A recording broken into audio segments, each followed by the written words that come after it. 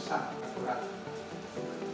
Hal ini menjadi tantangan kayak saya. Pak Wali, kalau saya, kalau udah yang Pak, tergantung Bapak dapat izin nggak dari Menteri Kesehatan.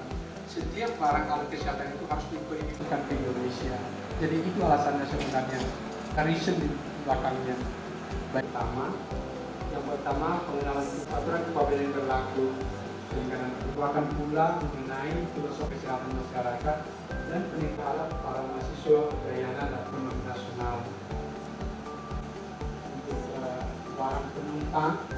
oh ya. Apakah semua barang bisa diimpor dari luar negeri masuk? Semua nanti bisa masuk ke dalam negeri. Uh, kita menyadari pentingnya masyarakat dan menjaga terbuka dengan berbagai masukan. Kami percaya nah, atas kesempatan yang diberikan kepada semoga acara sosialisasi ini dapat kata dengan saya sebutkan ini dengan sosialisasi di ruang AAJ. Nah. Mari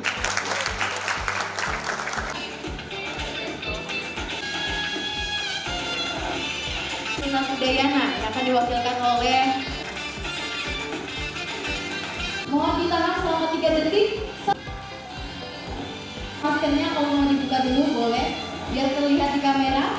Oke kita mulai. Satu, dua, tiga. Sudah cukup? Baik. Ya. Sudah?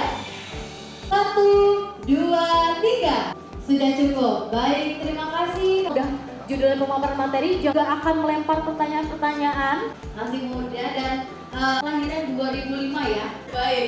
Mas Hermomo ini administrasi perpajakan pada Universitas J di Jakarta. Beliau sebelumnya pernah beliau, nah beliau cukai tipe A cukai sejak pada Sekolah Tinggi Akuntansi dan Nah, Baiklah, kita akan memasuk teman-teman Bapak Ibu sekalian kan ada pepatah tak kenal maka tak sayang. Zaman sekarang tuh daging semua, benar gak? Lagi tentang aturan-aturan bea cukai, ada baiknya kita lebih mengenal lagi nih.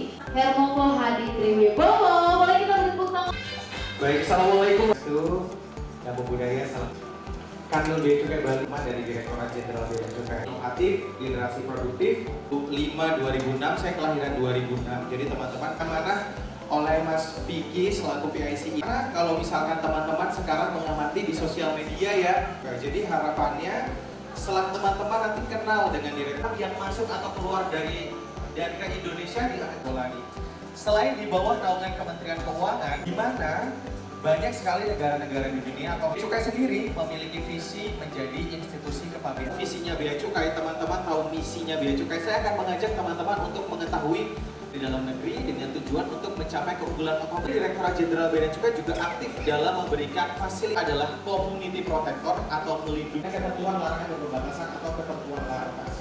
Teman-teman harus tahu bahwa Direktorat Jenderal Bea dan Cukai selain perwakilan dari fakultas uh, pegawai bea cukai yang ada pada pada bagian ini untuk yang dalam sebenarnya saya sebagai kepala seksi mengawali mungkin saya mau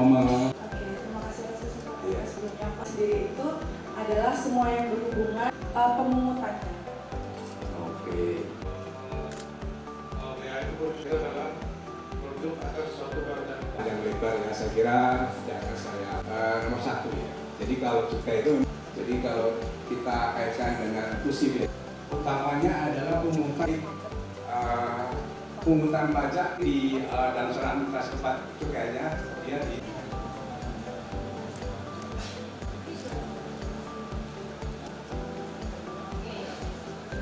pada juara tiga Ibu teman-teman sekalian atas nama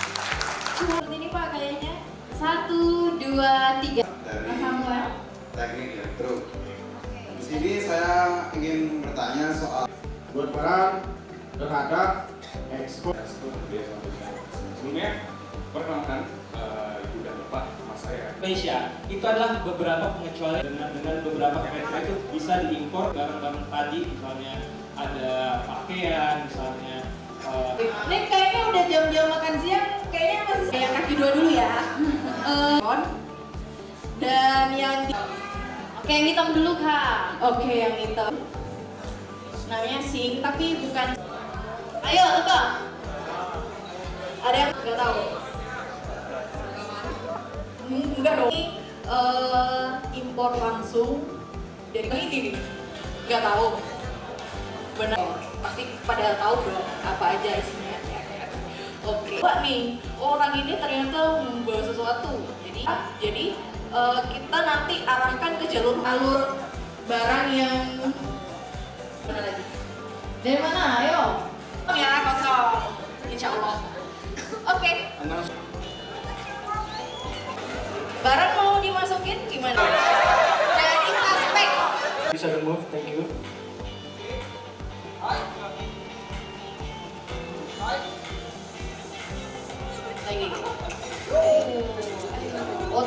Siputnya sangat-sangat lihai ya nyimpen barangnya.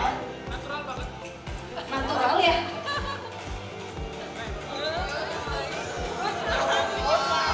Coba yang langsung dihajarkan.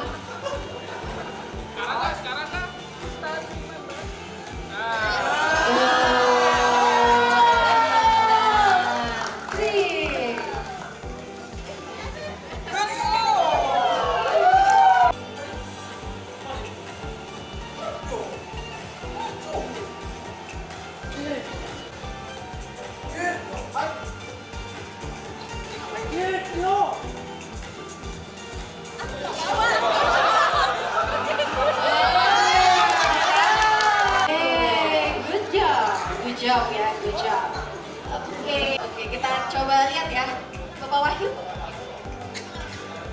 Kita buka ya.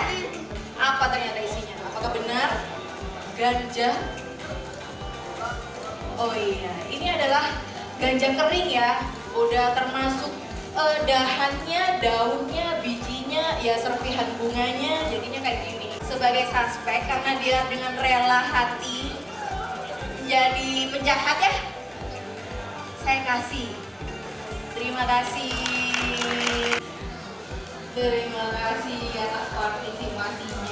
Sudah? Sudah. Cukup. Terima kasih. lebih dari tadi presentasi para terima semua terhadap tadi mereka sampaikan bisa diklarifikasi sehingga